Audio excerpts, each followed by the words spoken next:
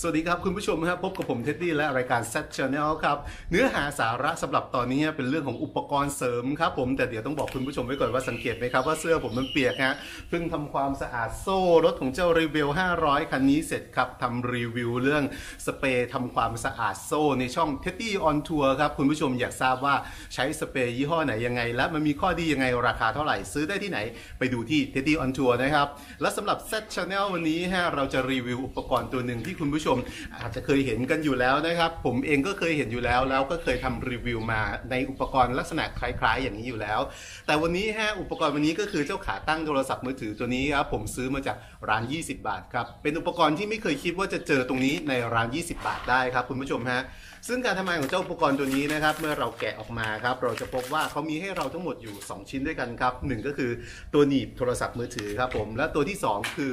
มือจับครับ แต่เจ้ามือจับตัวนี้มันพิเศษยังไงทำไมเท็ดดี้ต้องเอามารีวิวครับ เจ้ามือจับตัวนี้ฮะคุณผู้ชมครับ มันสามารถจะเป็นขาตั้งโทรศัพท์มือถือแบบนี้ได้ด้วยครับ สามารถกางได้แบบนี้ครับ แล้วเราก็เชื่อมเอาเจ้าตัวนี้ครับ หมุนเข้ามากับขาตั้งโทรศัพท์มือถือแบบนี้ครับคุณผู้ชมครับ หมุนเข้าใส่ง่าย ๆ แบบนี้ครับ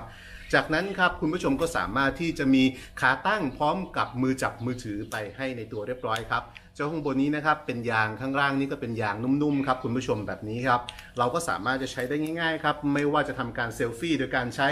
มือถือแบบนี้นะครับคุณผู้ชมฮะหรือคุณผู้ชมอยากจะกางออกมาครับเพื่อวางกับตรงไหนสักที่หนึ่งวางแบบนี้เพื่อจะเดินไปเดินมาแล้วทำการเซลฟี่แบบนี้ก็สามารถทำได้เช่นกันครับแล้วหากมันเป็นแบบนี้ฮะให้อุปกรณ์ 2 ชิ้นเป็นทั้งมือจับและเป็นทั้งขาตั้งกล้องด้วยในราคาเพียงแค่ 20 บาทครับคุณผู้ชม คิดว่ามันคุ้มค่าที่จะไปซื้อมาใช้ไหมครับคุณผู้ชมก็ใช้ได้ง่าย ๆเลยครับแต่ให้ระมัดระวังไว้นิดนึงนะครับเวลาใช้นะครับเจ้าส่วนบนนี้นะครับมันเป็นเหล็กฮะคุณผู้ชมฮะ มันเป็นเหล็กทั้ง 2 ด้านครับ ซึ่งหากเราไม่ได้ใส่เคสที่เป็นซิลิโคนหรือว่าไม่ได้ใส่เคสอะไรเลยครับ โอกาสที่มันจะทำให้โทรศัพท์มือถือของคุณผู้ชม เกิดอาการจอแตกขึ้นมาเนื่องจากแรงกดของสปริงตรงนี้ก็เป็นได้ครับ เพราะฉะนั้นฮะให้คุณผู้ชมใช้งานอย่างระมัดระวังนะครับแล้วลองไปสอบถามตามร้าน 20 บาทใกล้ๆบ้านคุณผู้ชมฮะอาจจะเจอแล้วลองซื้อมาทดลองใช้ครับ ถึงมันจะพังเสียหาย 20 บาทก็คงไม่น่ากังวลเท่าไหร่ใช่ไหมครับ โอเคไหมครับ แบบนี้ฮะและสำหรับวันนี้ขอบคุณที่รับชมและติดตาม